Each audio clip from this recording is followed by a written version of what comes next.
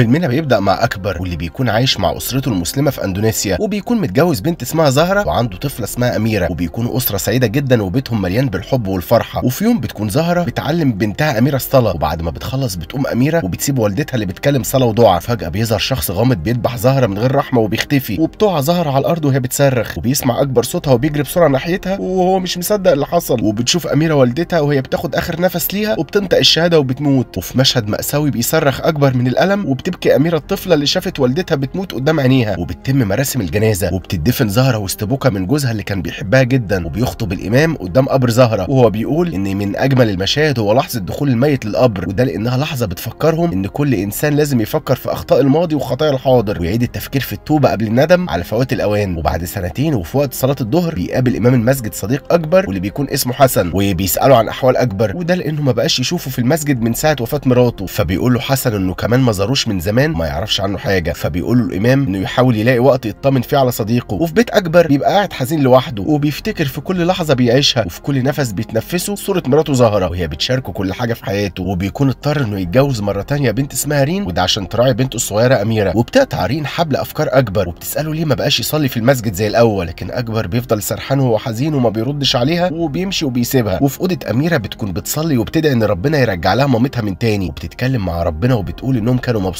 وبتترجاه إن لو والدها أو والدتها غلطوا في حاجة يعاقبها هي لوحدها. وبتنهار أميرة من العياط وهي بتقول إنها مفتقدة مامتها جدا. وبعد شوية بيخبط باب البيت وبيفتح أكبر الباب وبيلاقي صديقه حسن. وبيحضنوا بعض وبيسألوا حسن عن أخباره. فبيقول له أكبر إنه مش متقبل وفاة مراته وإنه مش قادر يعيش طول ما الشرطة لسه ما عرفتش القاتل. بيكمل وبيقول إنه مش فاهم ليه هي ماتت وإيه دافع القتل. لأن اللي قتلها ما سرقش أي حاجة. وواضح إنه كان عايز إنه يقتلها. فبيقول له حسن إن الشرطة بتعمل اللي عليها وبتدور. بيقول إنه لازم يرجع يصلي في المسجد زي الأول. فبيعتذر له أكبر وبيقول له إنه مش هيقدر. فبيستغرب حسن وبيقول له إنهم طول عمرهم بيروحوا المسجد مع بعض إنهم كانوا بيصلوا وبيحفظوا قران مع بعض إنهم مؤمنين بمشيئة ربنا وقدره. فبيقول له أكبر وهو متعصب إنه اكتفى من الكلام ده وإنه مش هيقدر يعمل حاجة طول ما هو مش قادر يكتشف مين اللي قتل مراته. يبقى هيتخانق مع حسن وهيضربه. لكن فجأة بتنزل أميرة وبتنادي على حسن اللي بيكون المدرس بتاعها. فبيسلم حسن عليها وبيقول لها تيجي مع المسجد عشان يحفظوا القرآن مع بعض. فبتوافق أميرة وهي مبسوطة لكن أكبر بيشدها ناحيته وبيقول لها إن حسن مش فاضي ومستعجل وإنها ممكن تروح في وقت تاني. وبيفهم حسن إن أكبر مش عايز بنته كمان تروح المسجد وان وجوده في البيت مش مرغوب فيه. وقبل ما يمشي بيوصي أميرة إنها تفضل تصلي وتدعي ربنا. وبعدها بيروح حسن لإمام المسجد بيقول له إنه شاف عينين أكبر غضب ورغبة في الانتقام عمره ما شافهم قبل كده. فبيقول له الإمام إن الإنسان ساعات بينسى ربه وبيفكر في مشاكله بس على الرغم من إن ربنا هو اللي هيحل له مشاكله بالصبر والدعاء. وبالليل بتكون رين نايمة وبتصحى من النوم على صوت حد بيفتح الباب ما بتلاقيش أكبر جنبها. فبتقوم وبتخرج بره الأوضة. فجأة بتلاقي أكبر قدامها وهو بيقول لها إنه تعبان وعايز ينام وبيدخل الأوضة. فجأة بتيجي رسالة لرين من أكبر نفسه. وهو بيقول لها هيتأخر بره البيت فبتتخض رين جدا وبتدخل الأوضة من تاني لكنها ما بتلاقيش حد. فجأة بيتقفل الباب عليها وبتبقى بتحاول تفتح الباب وهي بتصرخ لكن ما فيش حد بيرد. وفجأة الباب بيتفتح تاني لوحده وما بتكونش رين فاهمة اللي حصل. وفي تاني يوم بتحكي رين لأكبر اللي حصل لها وبتدور على الرسالة اللي أكبر بعتها لها وما بتلاقيهاش. لكن أكبر ما بيصدقهاش وبيقول لها إنها أكيد بيتهيأ لها. وبالليل بينام أكبر ورين بيحلم أكبر بزهرة. فبيقول لها إنه مش قادر يعيش من غيرها وإنه عايز يعرف مين اللي قتلها. فبتقول له زهرة إنه لازم يسيبها على الله وساعتها بس هيعرف مين اللي قتلها. فبيقول لها أكبر إنه مش قادر يتقبل موتها ومش قادر يعيش وبيعيط. فبتكرر زهرة وهي مبتسمة جمله سيبها على الله وبتختفي. وبيصرخ أكبر بأعلى صوته وهو بينادي عليها. فجأة بيصحى من النوم وهو مخضوض وبتصحى رين معاه وبتسأله لو صلى قبل ما ينام. فبيزعلها أكبر وبيقول لها كفايه محاضرات. وإنه صلى عدد صلوات في حياته مش هتتخيلها. لكن في الآخر ما استفادش حاجة. بيسيبها وبيقوم. وبيدخل أكبر الحمام وبيغسل وشه. وفجأة بيظهر وراه ظل مرعب وبعدها بيختفي. بيفتح أكبر باب الحمام عشان يخرج لكنه بيلاقيه مقفول من بره. فبيصرخ وهو بينادي على رين اللي بيكون مفكرها قفلته لكن محدش بيرد عليه. فجأة بيتفتح الباب لوحده وبيخرج وبيسمع صوت رين وهي بتصرخ فبيجري بسرعة ناحيتها. تبقى رين بتجري من حاجة مرعبة شافتها وبتلاقي أكبر قدامها فبتحضنه بسرعة وهي مرعوبة. لكن أكبر بيفضل ثابت مكانه ما بيتحركش. فجأة بيظهر أكبر وهو بينزل على السلم وبتتصدم رين اللي ما بتكونش عارفة هي بتحضن مين. وبيتفاجئ أكبر اللي بيكون شايف شبيهه وهو بيحضن مراته. فجأة بيظهر ظل أسود ضخم جدا فبتتخض رين جدا وبتسيبه وبتجري. وما بيكونش رين وأكبر فاهمين اللي بيحصل. في تاني يوم بيروح أكبر لإمام المسجد وبيعتذر له إنه مش بيكلمه أو بيسأل عليه. بيقول له إنه لسه مش قادر يقبل وفاة مراته ومش هيهدى غير لما يلاقي القاتل. فبيقول له الإمام إنه لازم يكون مؤمن بقضاء ربنا وإن القاتل هيتحاسب وإذا كان ربنا ما أرادش إنه يكشف له القاتل فأكيد في حكمة. وعشان كده هو لازم يكون مؤمن بقدر ربنا. فبيقول له أكبر إنه مش قادر يعمل كده وبيسيبه وبيمشي. وفي البيت بتسمع أميرة صوت حد بينادي عليها فبتخرج بره أوضتها وبتمشي ورا مصدر الصوت وبتنزل للقبو وبتلاقي قدامها لوح فنية كتير. فجأة بتلاقي سكينة ملفوفة بورقة جورنان فبتمسك أميرة السكينة اللي بيكون بيكون عليها دم وبتفتكر مشهد موت والدتها. فجأة بتصحى أميرة من النوم وبتلاقي رين ماسكة نفس السكينة وبتحاول تقتلها. في الوقت اللي بتنتقل فيه أميرة تاني للقبو بتلاقي رين بتجري ناحيتها وهي ماسكة سكينه وبتحاول تقتلها. فبتصحى أميرة فجأة من الكابوس وبتلاقي رين جنبها وهي بتصحيها وبتقول إن الفطار جاهز. وبيتكلم أكبر ورين في اللي حصل وبيشكوا إن البيت مسكون. وبعدها بتسأل رين أكبر عن المكان اللي بيروحوا كل يوم في نص الليل. فبيقول لها ما تقلقش وإنه مش هيتأخر. وبالليل بيخرج أكبر كعادته ونورين في أوضتها. فجأة بتسمع صوت خبط في كل مكان فبتخاف جدا وبتجري بسرعة عشان تخرج من الأوضة. لكن الباب بيتقفل. فجأة بيظهر وراها شبح شكله مخيف جدا وبيقرب منها وبتصرخ رين بأعلى صوت. فبتسمع أميرة صوتها وبتنزل بسرعة لاوضتها وأول ما بتفتح الباب بتلاقي رين قاعدة في الأرض ووشها كله أسود. وبتتخض أميرة جدا وبتقفل الباب وبتطلع تجري. وبتتصل بحسن وبتقول له إن في شيطان جوه رين. فبيتخض حسن جدا وبيتصل بإمام المسجد يقول له على اللي حصل. لكنه بيكون خايف يروح لرين من غير ما يكون أكبر في البيت. فبيقولوا الإمام إن لو مروحه هيساعد فلازم يروح. فبيقرر حسن إنه يروح. في البيت بتفتح له أميرة الباب وبتوديه لأوضة رين بتكون قاعدة على السرير وفجأة بتسأله إيه اللي بيعمله في أوضة نومها فبيقول لها إنه عايز يساعدها وبيخلي حسن أميرة تخرج بره بعدها بيزعق للشيطان اللي في هيئة رين وبيقول له ما يمثلش دور البريء يسأله عن سبب وجوده في جسم رين فبيرد عليه الشيطان المتمثل في صورة رين وبيقول له يمشي لأنه مش عايز منه حاجة وإنه مش عايز غير رين فبيسأله حسن عن اللي عايزه منها فبيقول له الشيطان إنه عايز حياتها فبيقرأ حسن آيات من القرآن وبينتفض الشيطان المتمثل في صورة رين وبيصرخ بأعلى صوت يفضل حسن يردد الآيات لحد ما بيخرج الشيطان من جسم رين وبيغمى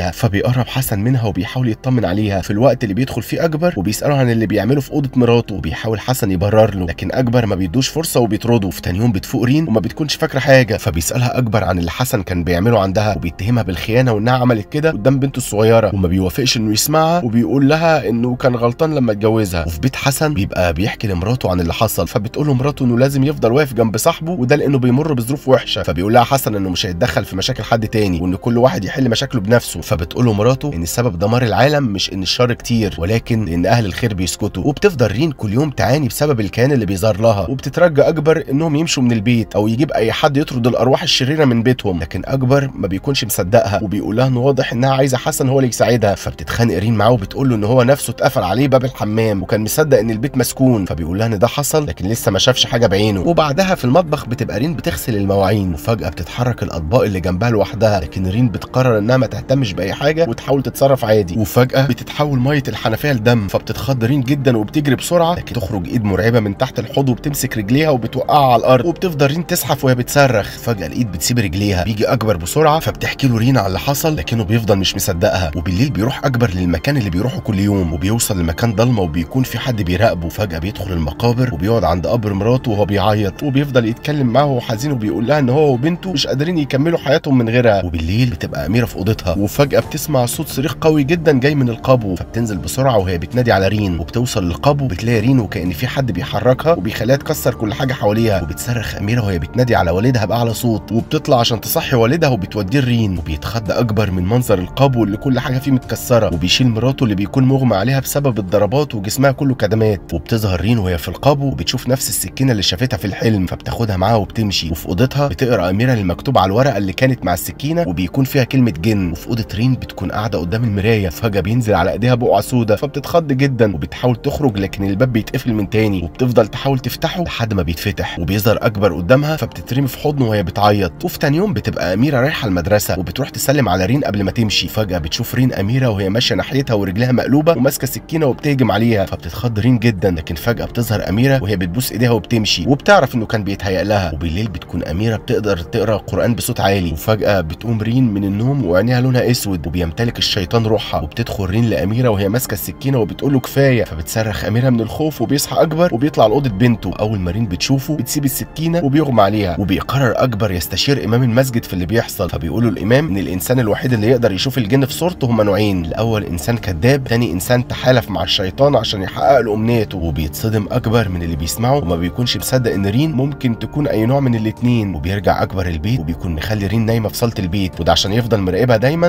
وما تأذيش بنته تاني. وبيجي حسن مع شيخ تاني اسمه كمال وبيقولوا له إن إمام المسجد بعتهم عشان يساعدوه. وبيقعدوا حوالين رين وبيبدأ كمال في تلاوة القرآن. وبتصحى روح الشيطان اللي جوه رين وبتتحول عينيها من تاني للون الأسود وبيبقى صوتها مخيف. وبتهجم على كمال اللي بيفضل يقرأ قرآن بأعلى صوته ومستحمل الألم. وبعدها بيكمل حسن تلاوة لآيات السحر لحد ما رين بتهدى وبتسيب كمال وبيغمى عليها. وبعد شوية بيستأذن حسن وكمال عشان يمشوا وبيوصلهم أكبر لباب البيت وبيعتذر لحسن على اتهاماته ليه وإنه ما كانش مصدقه. فبيقول له حسن إنه سامحه قبل ما يدخل فبيدخل بيته وفجأة بيسمعوا صوت خبط قوي فبيدخلوا بسرعة تاني للبيت وبيلاقوا إن رين في مكان تاني وبيبقى جسمها مقلوب. فجأة بتقوم من مكانها وبيتحول لون وشها للون الأسود وعينيها للون النهار. فبيهدد حسن الروح الشريرة اللي جواها وبيقول لها إنه هيخرجها بإذن الله بآيات القرآن. فبيقول الشيطان اللي جواها إن رين السبب إنها ما نفذتش اتفاقها معاهم. فبيسألوا حسن عن اتفاقها وبيعرف إن اتفاقها تخلي البيت كله كافر وبيتصدم الكل وما بيكونوش عارفين إيه اللي ممكن يخلي رين المؤمنة تحول أهل البيت لكفرة. وبيقرأ حسن من تاني آيات من القرآن لحد ما